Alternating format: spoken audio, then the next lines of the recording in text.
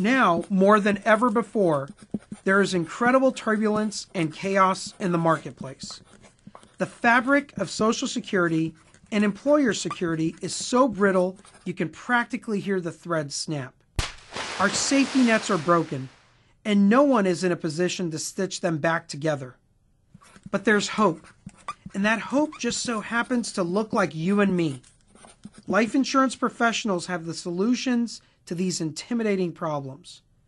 We're the one segment of the financial services industry that can provide certainty in an uncertain world, and so we have a moral obligation to educate the public about creating their own security.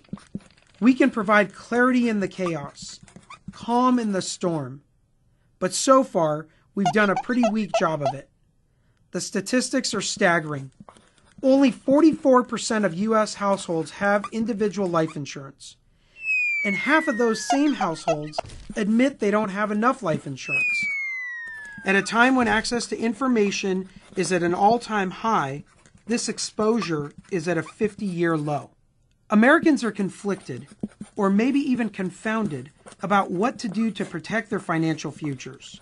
They know that the traditional safety nets are vanishing, but they're not taking the right actions to protect themselves and their families even as they see the bottom rungs of the traditional socio-economic ladder are vanishing. The good news is we've got the solutions. And now, more than ever, we need to tell the right stories, the right way, to help Americans understand how to turn our products into their solutions. The gap between the need for life insurance and the consumption of life insurance is vast. And floating between this clear need for life insurance and the lack of consumption of life insurance lies a virtual no man's land. In fact, it's not a no man's land at all. It's a gap littered with opportunities. Opportunities to create new stories, compelling stories, stories that inspire action. But in order to truly help Americans plan for their security, we have to understand what they're afraid of and what motivates them.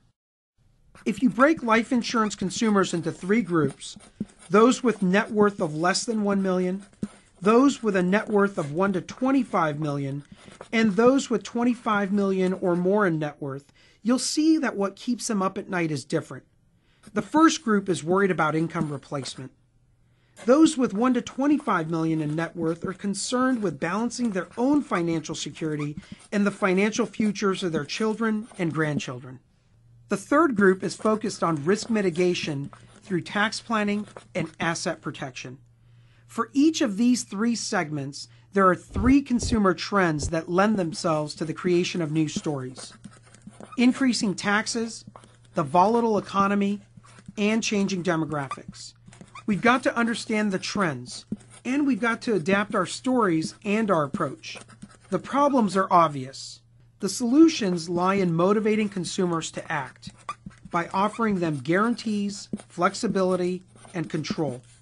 In a world where so much feels so uncertain, security is actually well within reach. Our products offer unique benefits that allow our consumers to protect themselves, rely on themselves, without depending on the whims of government or an employer. It's called self security. It's simple and it's smart. But right now, consumers don't even realize this solution exists. So we need to tell this story. We need to repeat this story. We need to weave our solutions into the fabric of their new financial security blankets. Let's reverse this 50 year trend, starting now. Nobody wakes up in the morning wondering if they have enough life insurance, but they just might, given the understanding of what life insurance can do for them and their loved ones.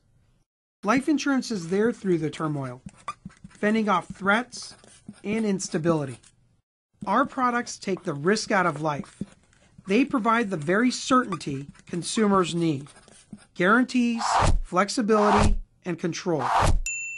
And more importantly, peace of mind. Together, we can transform tomorrow.